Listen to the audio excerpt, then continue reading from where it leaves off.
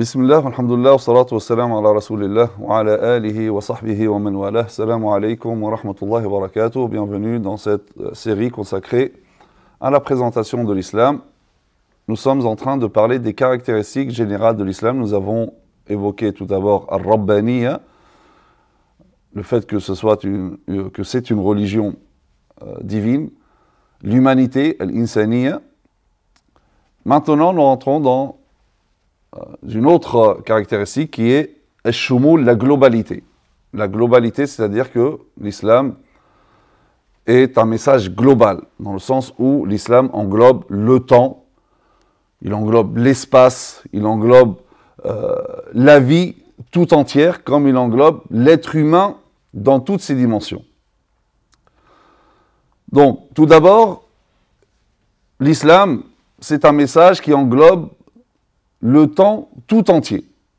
Donc, c'est-à-dire que l'islam est un message adressé à toutes les époques et à toutes les générations. Ce n'est pas un, message temporaire, limité à un temps, hein, qui serait obsolète euh, après l'écoulement de ce temps, ou destiné à une génération, et donc qui serait obsolète après la disparition, de, euh, de cette génération.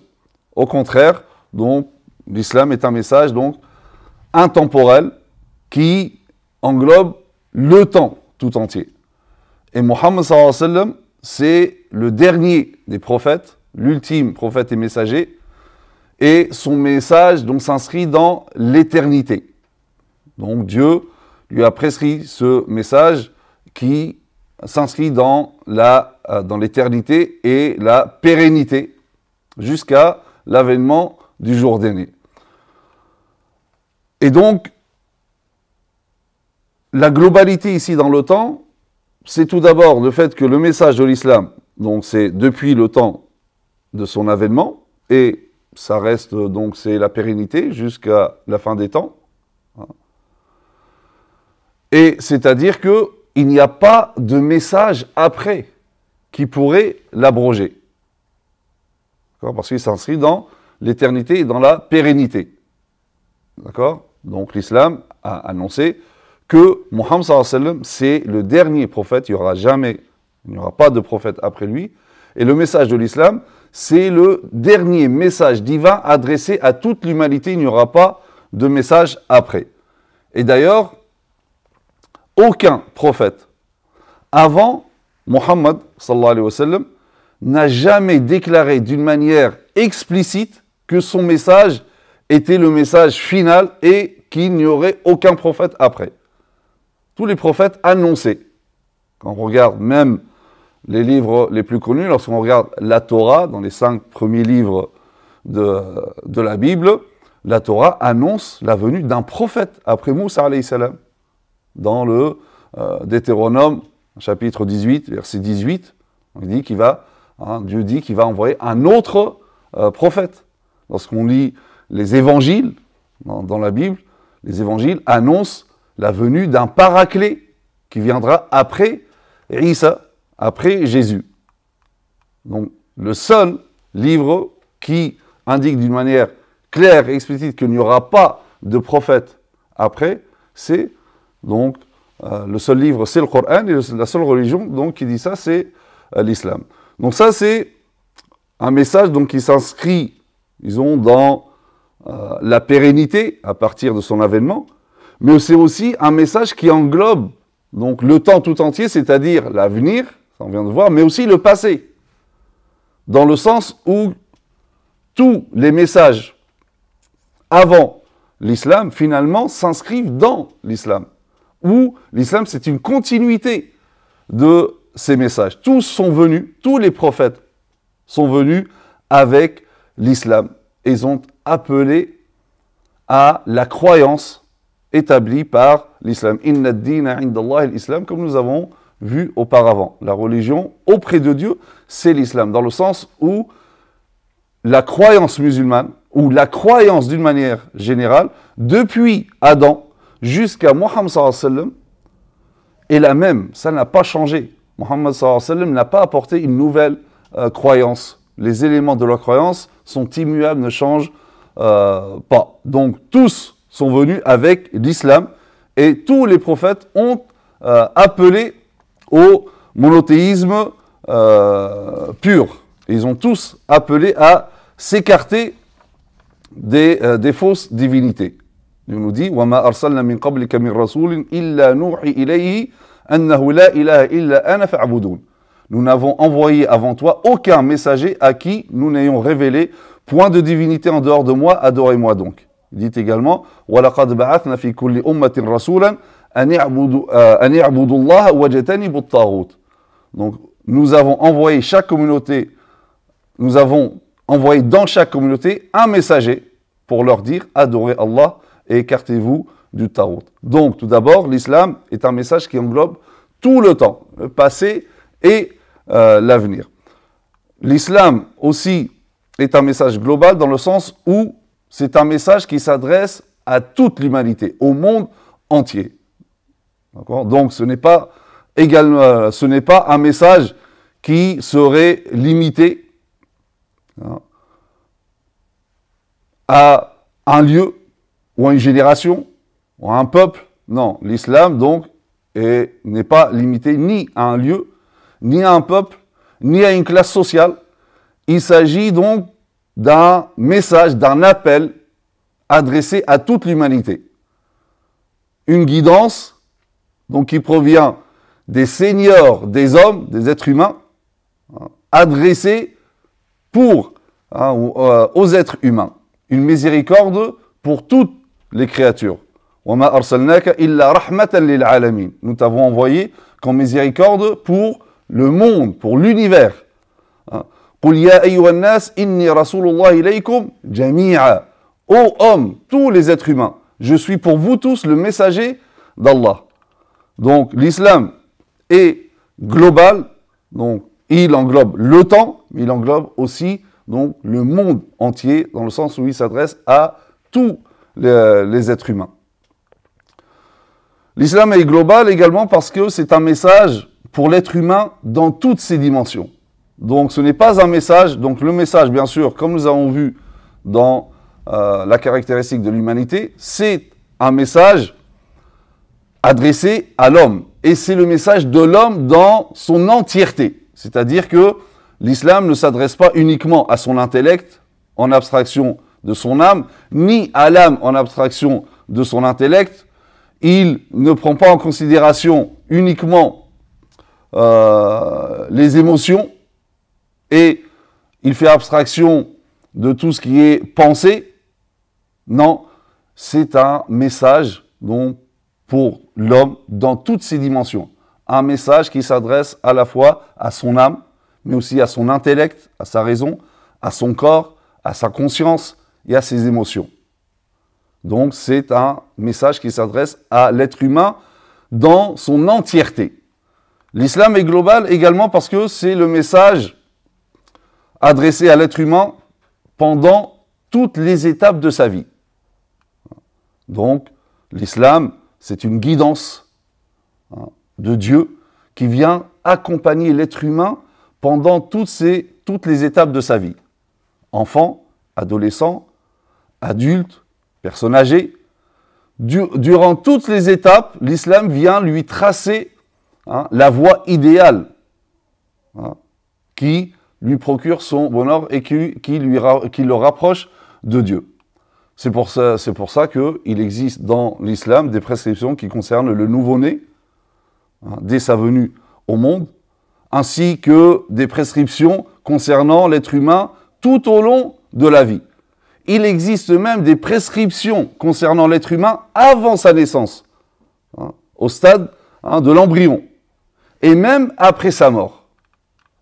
Donc, ça englobe l'être humain pendant toutes les étapes de sa vie. L'islam, c'est un message global également parce que c'est le message de l'homme dans tous les aspects de la vie. Donc cette globalité de l'islam se manifeste également par le fait que l'islam est un message qui s'adresse à l'être humain dans tous les aspects de sa vie et dans tous ses champs d'action.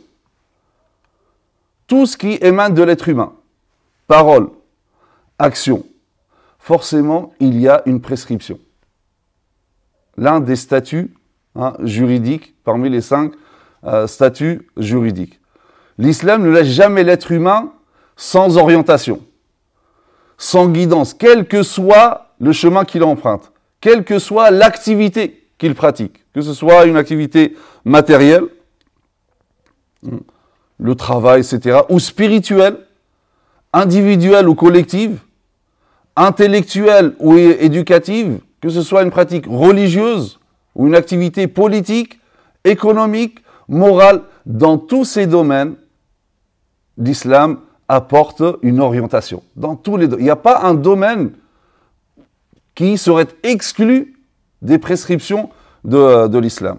Donc, dans ce sens-là, l'islam, c'est une organisation complète qui englobe tous les aspects de, euh, de la vie. Donc, ça va de euh, les, biens les bienséances, hein, lorsque, euh, ou à table, lorsqu'on mange, lorsqu'on boit, etc., jusqu'aux affaires internationales, hein, ça passe hein, de, des bienséances euh, lorsque euh, l'être humain fait ses besoins euh, naturels, hein, jusqu'à l'organisation politique, etc. Tous les domaines de la vie, tous les aspects de la vie sont concernés par les prescriptions de l'islam. L'islam également est un message global dans le sens où les enseignements de l'islam sont caractérisés justement par cette globalité. Cette globalité donc se manifeste dans la croyance, dans le culte, dans la morale et dans la législation. Nous allons dire que ça, c'était les, les fondations de l'islam. La croyance, l'islam, c'est une croyance, l'islam, c'est une adoration, l'islam, c'est une morale, l'islam, c'est une législation. Donc la globalité intervient dans tous ces domaines. Tout d'abord, la croyance, bien que nous avons hein, déjà dans des vidéos précédentes, nous avons parlé de cette caractéristique lorsque nous avons parlé de la croyance, de la morale, du culte, fait un résumé ici pour se rappeler. La croyance musulmane est caractérisée par la globalité parce que, notamment, elle donne une explication complète de toutes les questions existentielles qui interpellent l'être humain. Les questions, donc, la conception de la divinité, l'univers, l'homme, la prophétie, l'avenir, l'au-delà, donc, elle répond à toutes les questions existentielles que se pose l'être humain. Pareil, la croyance musulmane est caractérisée par cette globalité parce qu'elle n'éparpille pas l'être humain entre deux divinités. Tiraillé entre deux divinités, un Dieu du bien et de la lumière et un Dieu du mal et de l'obscurité, ou, autrement dit, entre Dieu et Satan. Satan, comme le définit hein, l'évangile de Jean, il serait donc le chef de ce monde. Hein. C'est le chef de ce monde. Donc, c'est-à-dire à Dieu le royaume des cieux, à Satan le royaume euh, de ce monde. Non, dans la croyance musulmane, hein, Dieu est un, il est unique. Il n'y a pas, hein, donc l'être humain est le serviteur de Dieu unique. Il n'y a pas, donc l'être humain n'est pas éperpillé entre plusieurs divinités. Pareil, la croyance musulmane est caractérisée par cette globalité, parce que la, croyance musulmane ne se contente pas de, du côté mystique, du côté donc de cette purification euh, spirituelle, le côté mystique qui même euh, réfuterait la raison. La raison n'a rien à voir dans la foi. Ça, c'est euh, certains, donc dans certaines euh, religions, hein, c'est comme ça. Ou l'autre extrême, c'est la, croyance musulmane ne se contente pas non plus de la raison, à l'instar de certaines euh, philosophies qui font de la raison le seul moyen de connaître Dieu hein, et de percer les secrets de l'existence. Non, la croyance musulmane donc englobe les deux. Il y a Hein, ce côté, donc de, le côté mystique, le côté de l'âme, mais aussi le côté de la raison. Donc la foi musulmane authentique est celle donc qui émane de la lumière de la raison conjuguée à la ferveur du cœur. Pareil, la croyance est caractérisée par la globalité parce que la croyance musulmane n'est pas sujette à la subdivision. La croyance musulmane doit être prise dans sa totalité, avec tous ces éléments, sans aucune exception. Quiconque, par exemple, croit à 99% des éléments de la croyance et ni 1%, il n'est pas considéré croyant, il n'est pas considéré comme musulman. Donc l'islam exige du musulman de croire en tout ce que l'islam a apporté, en tout ce que Mohammed a apporté. Donc ça c'est, on parle toujours de la globalité dans les enseignements de l'islam, donc dans la croyance, mais aussi la globalité dans l'adoration. Ça se manifeste tout d'abord par le fait que l'être humain adore Dieu avec toute son entité. Donc c'est-à-dire que euh, l'adoration englobe l'être humain dans toutes ses dimensions.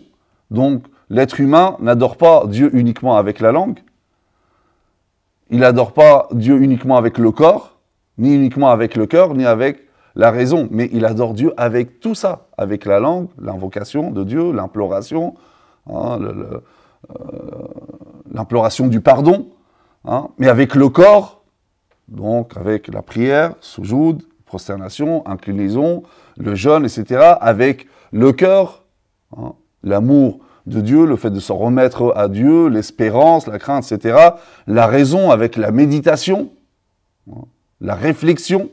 Hein. Donc l'être humain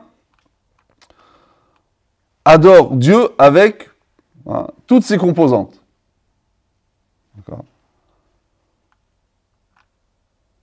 Mais aussi, toujours la globalité dans l'adoration, elle se manifeste par le fait que l'adoration englobe tous les aspects de la vie. L'adoration, contrairement à ce qu'on croit, ne se limite pas uniquement aux actes cultuels. La prière, le jeûne, la zakat, le pèlerinage, l'invocation, euh, etc. Mais son sens est beaucoup plus large. Elle englobe tout ce qui plaît à Dieu, parmi les paroles et les actions. Donc l'adoration, elle est caractérisée par la globalité dans le sens où elle englobe toute action qui rend la vie meilleure et apporte le bonheur à l'humanité. Hein. Donc toute action bénéfique au service de la société, au service de euh, l'humanité, hein, toute action faite en vue d'aider son prochain, c'est une adoration. Donc ça, c'est la notion de globalité dans l'adoration. Et enfin, la globalité dans la morale. La morale en islam intervient dans tous les domaines de la vie. Dans le culte, dans les relations sociales, dans la politique, dans l'économie, dans la science, que ce soit au niveau individuel, donc la morale intervient au niveau individuel, mais aussi au niveau collectif. Elle intervient aussi bien dans le rapport à Dieu que dans le rapport à son prochain. La morale n'intervient pas uniquement dans les actes d'adoration ou à la mosquée. Et lorsque la personne sort, ça n'a rien à voir. Son rapport, ou bien ce rapport à Dieu et au culte, ne se manifeste pas du tout dans son rapport à son prochain. Là, c'est une subdivision. Là, on n'est plus dans la globalité de la morale. La globalité de la morale, c'est que cette morale te suit partout. Elle te suit à la mosquée, elle te suit à l'école, elle te suit au travail, elle te suit dans ton rapport à Dieu, elle te suit dans ton rapport aux êtres humains, dans ton rapport à ton environnement, à la nature, etc. Donc voilà l'une des caractéristiques de, euh, de l'islam, la, globalité. Donc c'est une religion, hein, c'est un message qui englobe le temps, qui englobe toute l'humanité, hein, qui englobe l'être humain, dans euh, tous les aspects de sa vie, dans, dans toutes les étapes également de sa vie. Et c'est une globalité qui intervient dans tous les enseignements de l'islam, la croyance,